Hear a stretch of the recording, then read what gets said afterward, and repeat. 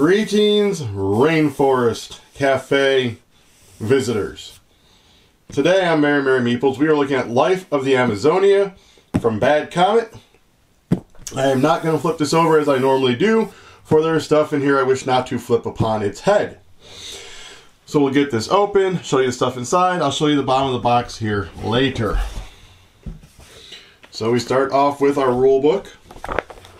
It is a big rule book because it covers quite a bit of things and make sure that it's covered well. We have all of our components, the assembly instructions for the Waterfall of Life, the token vault, and the discard pile boats. Here's a big picture of the game setup, example of a two-player setup. Here is all the setup.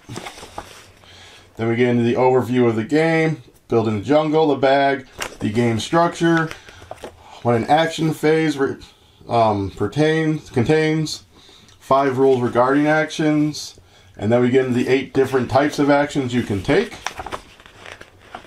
And here they all are. And then we're into the cleanup phase. How the game ends, how to calculate your score. Here is the scoring criteria for base animals. They have the different types, so there's a grouping, and they go in examples and explain that. And the community. Here's some score calculation examples. Variant modes, a lightning mode to play it uh, quicker. And here's the gameplay changes. The solo mode, what the goal is, game setup changes, gameplay changes, how the game ends, and then it's got nine scenarios that go up in difficulty. And you try and win the medal based on the criteria. And here's the appendix for the different base animal cards that needs more explanation. Here's even more. Here is the unique animal cards, the scenery cards with numbers so you can easily find them, the rest of the scenery, and the insect cards. Here is that waterfall of life. This becomes 3D.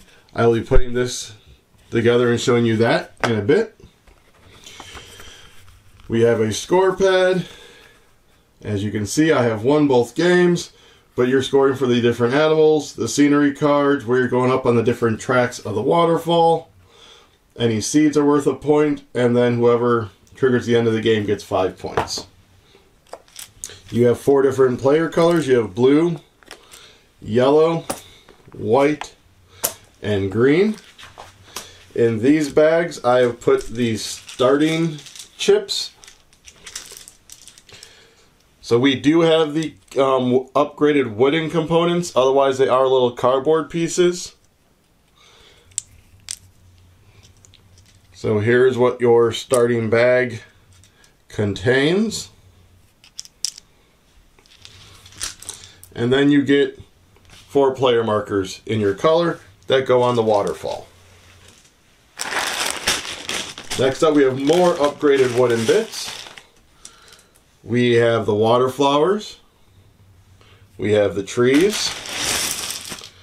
We have seeds.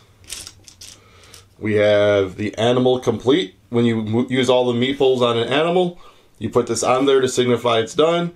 Once five are empty, the end of the game's trigger. And then we have these discs, which I'll get to in one second after I show you this. This is that five point wood chip that a person can take when they trigger the end of the game. These are the solo play chips that you'll be pulling. You'll remove an animal from one of the cards and you'll flip it over and that will tell you the other thing that happens. If you do a renew, if you get rid of certain cards, and then what track their player piece goes up on. So that's all those wood bits. Then we have, we're going to slide that here. We have the animals. So you have eight base animals. You have a woodpecker, a caiman, a jaguar, a giant otter, a leaf frog, a tamarin, a toucan, and a macaw. One, two, three, four, five, six, seven, eight. Yep. So those are your base animals you play with every game. And I'm going to grab as many as I can, but these are the unique animals. Each player gets their own. And you only have one of most of them, except for the piranha. The piranha, there's two of them. But there's a large variety of these unique animals. As you can see, I know I'm missing a couple because I haven't grabbed the piranha yet. He's in here somewhere. There's a snake, another bird, armadillo. There's a piranha. Piranha. So as I said, these are all unique animals. That makes it asymmetric. There's an iguana, howler monkey, and the capybara. So that is a lot of unique animals. Let's get those shoved off. Let's not combine those. Let's push these that way. So speaking of those animals, here are their cards. So you have the unique animals have this on the back. Anteater, fruit bat, tapir. There we go. Piranhas, a sloth, manatee, howler monkey, iguana, poison dart frog, anaconda, capybara, Amazon river dolphin, armadillo, hoatzin, and river turtle. So in addition to those, as I said, you have the eight base animals, and each base animal, if you look down here, has a letter grouping, and then this is how many you have per player. And you have A's, B, C, D, E, and F, but E is for you to make your own, and F is an easier family type. I'll just show you the A sides here. So you see they have a scoring condition. This is where they have to go, and this is how much you have to pay to get them into your jungle. Leaf frog, giant otter, macaw, toucan, Sam, woodpecker. And if you notice, the art's all different on these. And then actually one of the cool things is, let me get to the F's here in a minute. There we go. So as I said, the F is considered the family variant. And if you look, they each have a little offspring with them. Their little family. Thought that was a nice little thematic touch that they did here. And like I said, this is easier scoring than the other ones. And then you can make your own. So that is all the different types of animals on these cards. You then have this pack, which has the player aids in it. And then this is the rules for the Kickstarter exclusive pack, which is the Harpy Eagle, the Black Jaguar, the Wooden Endgame, and one unique, which is the Harpy Eagle, which is right here.